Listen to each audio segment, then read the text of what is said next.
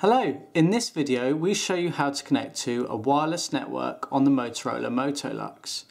Take your device, when switched on, press the menu button, click settings, navigate to wireless and networks. Tap the Wi-Fi checkbox like so.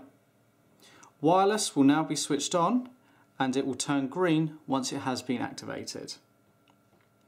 If you're already connected or have set up a wireless network, it will automatically try to connect to the network in range. Click into wireless settings and you may select one of the other networks should you wish to connect.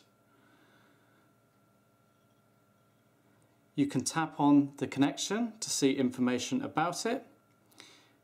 We can forget the connection and that will lose the security information stored. To reconnect, tap the connection. If necessary, enter the secure password. Once complete, click connect. Your device will now try and connect to the network. Once connected, it will show in the description that it is connected.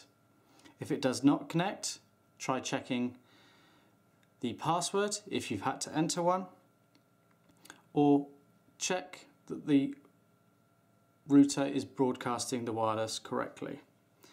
To switch the Wi-Fi off, simply tap the Wi-Fi button again. Turn it back on by pressing it again and it will automatically connect to the wireless network in range.